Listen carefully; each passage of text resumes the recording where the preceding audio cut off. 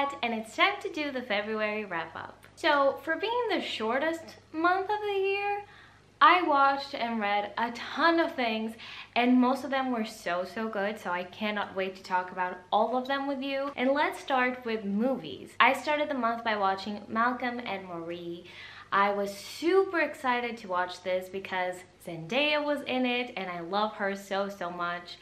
And this is one of those movies that is it has everything to be an Oscar movie. It's very uh, monologue heavy. It's shot in black and white. So it's one of those artsy kind of movies, but it's so good. I absolutely loved it. And this is not at all a love story, especially because the title suggests that it is. This is not a love story, but it is a story about love. This movie does such a great job at discussing little things that people bottle up when they are in a relationship. And the performances were incredible highly recommended because it was so good. Then i watched the photograph and i don't have much to say about this movie. It was just okay for me. I was expecting it to be more of a romantic comedy and it ended up not really being that. So yeah it's a movie that i watched let's move on to the other one that I watched. And this was one of my most anticipated releases for this year. And that is To All the Boys, Always and Forever. I love the I loved the book trilogy so so much and I love the movies so so much as well. This is like candy in a movie. It's so sweet. The characters are so adorable. I was a little scared that I would watch this and I would cry. So I started watching it kind of containing myself so that I wouldn't but it didn't work. I cried so many times while watching this movie. It was such a good adaptation and I feel like this was this did some things even better than the book because in the book we have a lot of miscommunication between Peter and Lara Jean and here the relationship and the communication feels so much better and so much healthier they they have a better balance when they are talking about things. This was the perfect ending. Next up, I watched Sense and Sensibility, and this will make sense when you see the books that I read, but I read the book finally this month and then I wanted to watch the movie adaptation with Emma Thompson and Alan Rickman and a ton of different actors, very well-known actors. Um, I have to say that once again, comparing the book to the movie, I enjoyed the movie more because the book for some reason felt a little dry. The movie was funnier. That being said, once again, it was just okay. I didn't really vibe with the story to begin with, so the movie was just okay. It was fun to see, but yeah. And finally, the last movie I watched was such a disappointment and that was Four Weddings and a Funeral. If you are at all interested in movies and romantic comedy classics, this is one of those, like the typical English romance movie that everybody raves about, like Notting Hill. Now, I've watched Notting Hill many, many years ago, really enjoyed that one, and I'm a huge fan of Hugh Grant.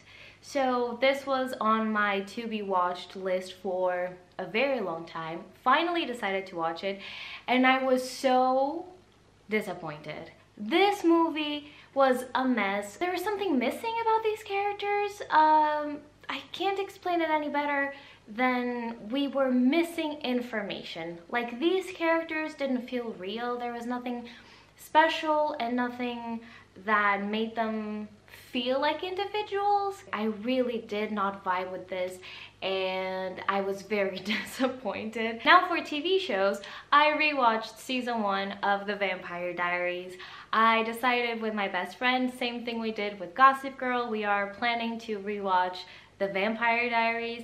I think when I first saw it, like way back in high school, I I think I got to season four. We never actually finished the TV show and now we are on a mission to do so. And this is one of my favorite shows, especially because of nostalgic reasons.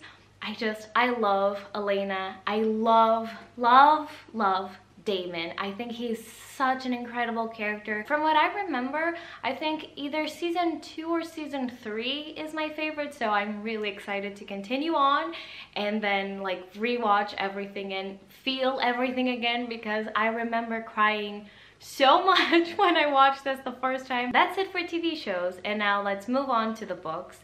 And to be completely honest, I didn't plan to read so much and I can't really explain how I read so much, but it happened, I did, so let's get into it. The first book that I finished in February was Gemina by Amie Kaufman and Jay Kristoff, and I loved it so much. I cannot explain to you how compelling this was to read. I loved Illuminae, the first book in the Illuminae Files trilogy, but this book was even a step above that.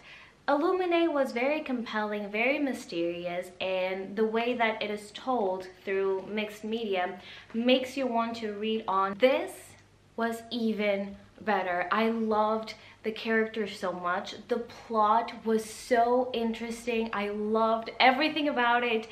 And now I am ready for Obsidio, I think it's what it's called, the last book in this trilogy. I have ordered it. It's coming in the mail.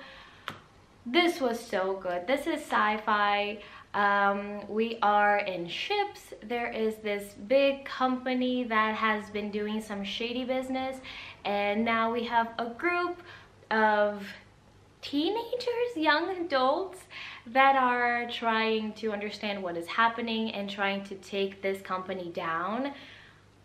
Oh, this is so good. This is, that is the broadest uh, explanation that I can give it but this is so good. Next up, I read some nonfiction, and that is Funny Weather, Art in an Emergency by Olivia Laing. And I was very surprised by this book. So the best way that I can explain this is a bit of biographies on a ton of different artists and some essays about art and some other subjects.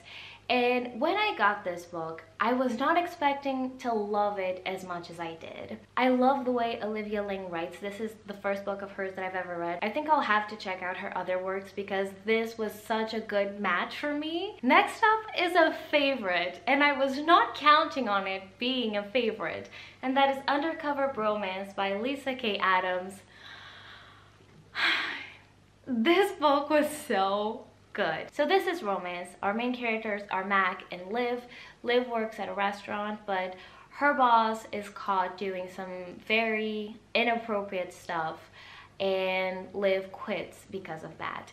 Uh, this deals with sexual assault, especially in the workplace, sexual harassment, and Liv is on a mission to kind of uh, expose him, her boss. And Mac kind of helps her with it.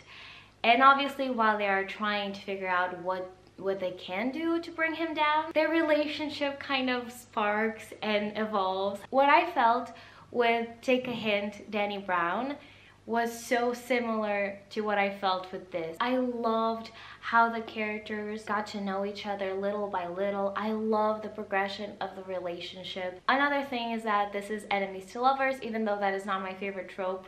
It worked very well here because their animosity was believable and that is the most important thing. This was great, this was funny, this was adorable, and the relationship was so sweet. Next up, I read Happily Ever Afters by Elise Bryant, and I listened to this on audiobook, and it was so good. This is contemporary, YA contemporary romance very very sweet. We have tessa who is our main character. She has recently been accepted to this very prestigious writing program and she loves to write romance stories. But once she is accepted into this program the words kind of disappear. She isn't able to write anymore. So this is a story of her trying with the help of a couple friends to get her words back and to find some real life romance so that it can inspire her writing. And this book was so adorable. First of all, the audiobook was great. I loved the narrator. And even though you can predict everything, you can see the tropes and where the story is going, but still the execution is so good. I loved it. The characters are so sweet once again. Highly recommend that you pick this up. Then I read another favorite and this once again was very much a surprise. This is A Cuban Girl's Guide to Tea and Tomorrow by Laura Taylor Namey and I was not expecting to love this as much as I did. So this tells the story of Lila Reyes. She is Cuban American and she's going through a very tough time in life. Her grandmother just died. Her boyfriend and her broke up recently. Her best friend isn't talking to her at the moment. So everything feels like is coming down around her and her family is very worried because she isn't dealing with things properly and in a good way. So they decide that the best thing for her is to take a step back and go away for the summer. So she has family in England and that's where she goes. And this book is her, Lila, dealing with everything, dealing with growing up, finding out who she is, who she wants to be, her dreams, her roots, dealing with grief, a lot of that. And this book was so beautiful. First of all, the writing is stunning. If you love With a Fire on High by Elizabeth Acevedo, read this one because you will love it just as much. Next up, we have another fantasy, and do not be surprised that I will be raving about pretty much all the books that I read because it was that kind of month where everything I read was incredible. Legendborn by Tracy Deonn is amazing. Read it, pick it up. This was such a breath of fresh air. This is urban fantasy. We have our main character Bree and she just lost her mother. She's going once again through a very tough time in her life. But at the same time, she has been accepted to this special early college program where she gets to go to college early because she's such a good student. And she does that and there she finds secret societies and she discovers that magic is real. So that is the starting point for everything. This book is inspired by the legend of King Arthur and the Knights of the Round Table. I had never read anything based on that before and I loved it so, so much. The writing in this book is amazing, incredible. The way that the characters are developed just makes you want to read more and more. And on top of everything, the world building in this book is something that I haven't seen in a while. Everything feels so believable, so realistic. There's an explanation for everything. It makes so much sense. And that I have to say was probably my favorite part of this whole thing. I've said this before in my last video and I'll say it again here. This gave me so many City of Bones vibes when I was reading it. You have so many things to fall in love with in this story that I can't recommend this enough. I think this will be a duology and I am so hyped to see where the story is going. And now for a bit of nonfiction, once again, we have Twisted, The Tangled History of Black Hair Culture by Emma Dabiri. And this book is so good. First of all, go pick it up, go read it, because not only is it incredible, but it's another one of those books that is incredibly necessary and everybody should read. I would have to say that in terms of importance, I would put this right up there with hood feminism. The thing I loved the most about this book was how the author was able to put the present and the past together. How certain things may not seem connected at first glance, but are. And especially, and this is very much a white person situation, how much we are conditioned throughout our whole lives to think of Africa in a certain light that is not actually true.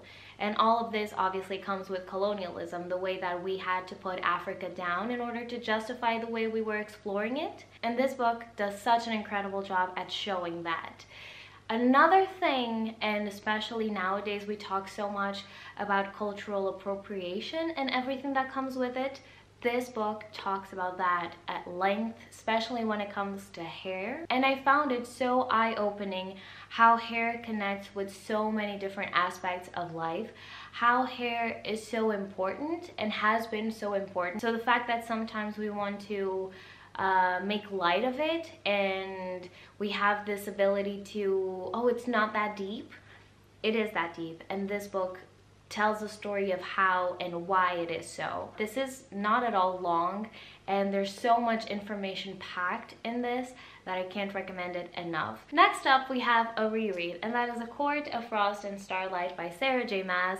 I just needed to reread this one so that I was completely ready for A Court of Silver Flames. I still haven't read it because it still hasn't come in the mail, but I am so ready. I have read and heard so many amazing reviews and I know I will love it because I love Cassian and I absolutely love Nesta. I am so invested in her story and in seeing where this is going that I'm I'm I'm so ready and the little bit of them that we get in this book has me so hyped for that. Here, I feel like a lot of people didn't enjoy this one, especially because when it was announced, people were thinking that this wasn't going to be a novella, that this was going to be a huge book like the other ones in the series. But I am a fan of this, so I loved it. I'm a fan of low stakes, nothing is happening, we just see the characters having fun kind of stories. So this was right up my alley, like literally nothing happened in this book. We just got to see more of the characters and seeing the characters interact with each other and just being themselves without having to save the world. So that is why I love this. Then I read a graphic novel and that is Sheets by Brenna Thummler and this was very cute though nothing special. This deals with a young girl and her family. They're going through a very hard time. She just lost her mother and the family owns a laundromat.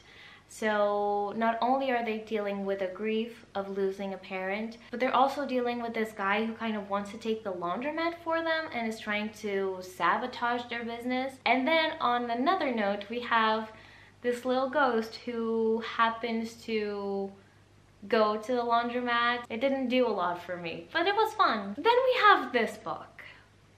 And I don't really know what to say about it. This is The Death of Francis Bacon by Max Porter. This was one of my most anticipated books of the year, and I don't really know what to say about it because I don't understand. I read this in an afternoon. I love Max Porter's writing. I've read all of his books up until this point. And even though he is a bit unorthodox, let's put it like that, he's a little experimental with his writing, I feel like this was too far. I don't understand what the point of this book was. I didn't understand a single thing that was happening. This feels like a fever dream and I don't understand any of it. I'm really sad about it because I was expecting at least for this to make sense, even though it was experimental to begin with, the premise. Oh, but this was a mess a mess. I did not enjoy this at all. But let's move on to a book I adored, and that is Girl, Woman, Other by Bernardine Evaristo. This book was incredible. It took me a month to read, but I loved every second of it. Even though this is a novel, this feels like a short story collection to me because each chapter we see from a different person's perspective. And these characters are kind of grouped together by families and you see through different generations, different types of people who have different um, goals in life, who have different experiences. And this book was fascinating. This is set in Britain. We see the perspective of people who live there, either people who were born there or immigrated there. This focuses on black stories, black people. The way that the author was able to explore such different characters with uh, so many different ideologies, different ways to see the world, it was so compelling. You already know by this point that I love character focused stories and this was that. This was just people living and I loved it. Next up, I read Miracle Creek by Angie Kim and I enjoyed this book a lot. This is a bit outside my comfort zone. It's more of a mystery. This is a court drama, but I really enjoyed it. So if you have any more recommendations similar to this, let me know in the comments because I don't know of any books similar to this and especially with this setting. In this book, we follow a, a cast of different characters and what is happening is that something happened, a fire happened, and we are seeing the trial for that. We are trying to put the pieces together, understand what happened, while also being at the trial of who we think probably did it. And it's fascinating watching everything come together, putting the pieces together, analyzing the characters. Once again, I love uh, lawyer-esque situations. I love how to get away with murder. And one of the lawyers here really reminded me of Annalise Keating, which I loved. This talks a lot about immigration. It deals with people on the autism spectrum. This book felt very human. We don't see from any people with autism in this book. We see from their families. Just because I felt this was a little bit heavy on the mystery side and that is not a preference of mine. This isn't like a favorite or anything, but I really enjoyed it. And this is one of those that I could definitely see being an incredible movie. Two more books to go. I read A Pho Love Story by Loan Le and I read this as an audiobook. Once again, I love this one so much. This talks about rival families. They have different pho restaurants and the teenage uh, kids from these families don't really get along because of the rivalry between their families. But one day they kind of strike up a conversation and they get friendly with each other and then stuff ensues and it's YA romance contemporary. It's very, very cute. The way that it combined the romance aspect but also the family aspect was so well done. I love the dynamic the characters had not only with each other but with their families. I highly recommend this book. Once again, highly recommend the audiobook because we have dual POV and we have different actors for each uh, main character. It worked so well, it was so good. The one thing I have to say about this book is that the ending felt a little bit rushed because of the family things that we have to deal with. The ending felt like uh, we were trying to solve things too quickly and that's the only thing that I have to say about it because other than that it was great and finally this this video is huge isn't it finally I read Sense and Sensibility by Jane Austen like I mentioned before with the movie, this felt a little dry. Of all the Jane Austen novels that I've read so far, Pride and Prejudice is at the top, then Sense and Sensibility, and low very, very low is Northanger Abbey. I really didn't enjoy that story. This felt uh, like a lesser, more boring version of Pride and Prejudice because the characters were more compelling than Northanger Abbey, for example, and we, we have a kind of, we have lessons to learn here, like we have in Pride and Prejudice, but the story was a little meh for me. So this deals with two sisters. Their father just died and because of the whole like thing of the time with uh, inheritance and stuff like that, they don't get what they should after their father's death. So both sisters, or there are three sisters, but we focus more on two of them, and their mother have to move somewhere else. Then there's romance, a lot so much miscommunication in this book. I know this is a thing of the time. There's a lot of etiquette and social norms to uphold. Oh, but there, this was ridiculous. So Pride and Prejudice still has my heart. And that's it for today's video. I hope you enjoyed it. Please let me know if you've read any of the books, if you watched any of the things that I mentioned today, what was your favorite of the month? Let me know down below in the comments, and I'll see you next time. Bye!